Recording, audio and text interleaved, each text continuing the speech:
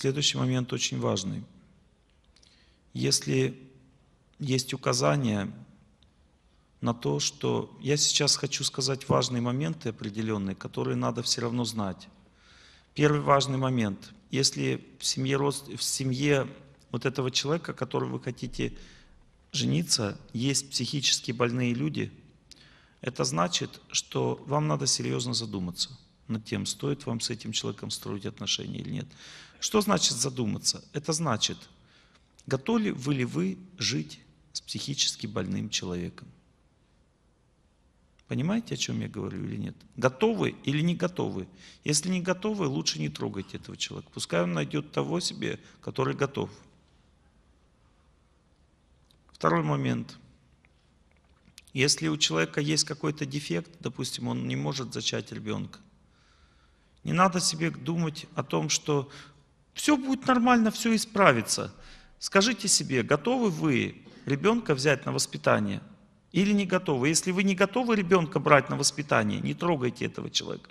Пускай он найдет себе того, кто готов брать на воспитание. Понимаете или нет, о чем я говорю? Что здесь уже нет сентиментов в этих вопросах. Если вы берете слепую жену себе, у меня один возвышенный человек, знакомый, возвышенный человек, взял себе слепую жену. И он думал, что он готов жить со слепым человеком. Но он необычная личность. Правда, необычная личность. Но в какой-то момент он начал встречаться с другой девушкой. Потом он много говорил со своими наставниками, много общался, много страдал и решил в конце концов остаться со своей слепой женой. После этого он обрел счастье в отношениях с ним. Но знайте, что не каждый способен на это. Не каждый.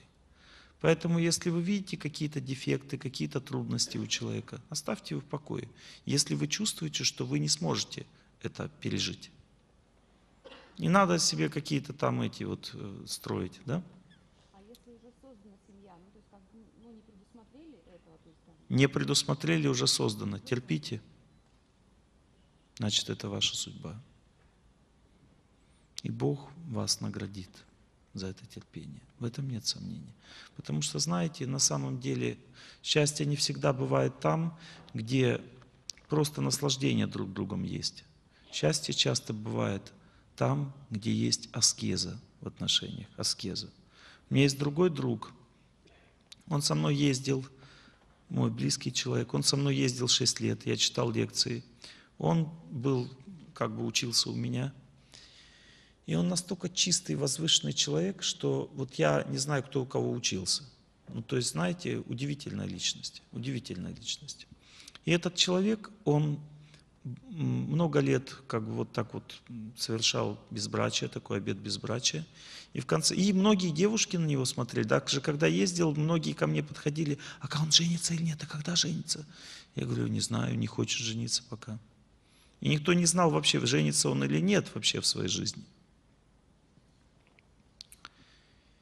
И одна девушка в его городе, когда он уже от меня отучился, он уехал в этот город. Одна девушка попала в аварию, и она осталась парализованной. У нее отказали ноги. И а он как врач, он выучился на юридического врача, он пытался ее лечить. И в какой-то момент он узнал, что она собирается покончить жизнь самоубийством. Эта девушка, она такая религиозная, серьезная. И знаете, что он сделал? Он взял ее замуж. А сейчас лучше отношений я никогда не видел в своей жизни. Лучше отношений, чем между этими людьми настолько чистые и возвышенные и глубокие отношения, именно они показывают, что такое отношение между женщиной и мужчиной для меня.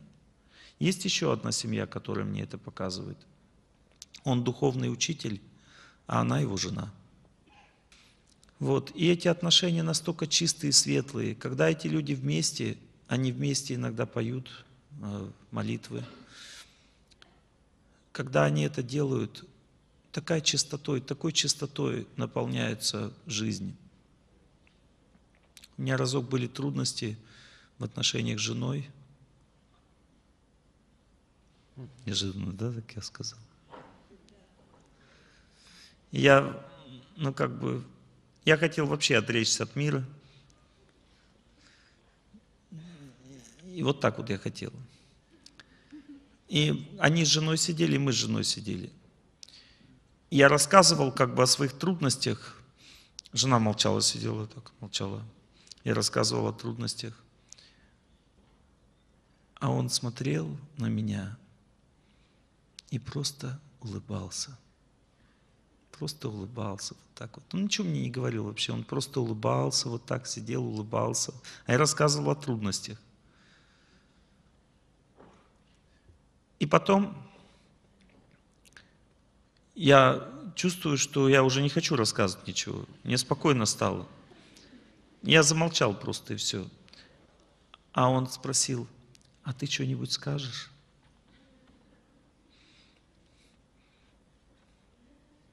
Она ничего не говорила, молчала, смотрела, смотрела, потом тоже заулыбалась.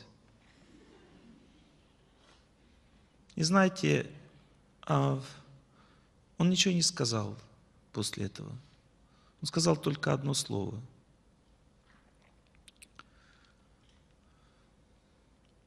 Это все такая ерунда. И пошел. Все такая ерунда. Нас как рукой сняло все потом. Вот все такие счастливые отношения, все классно. Никаких проблем. Знаете почему?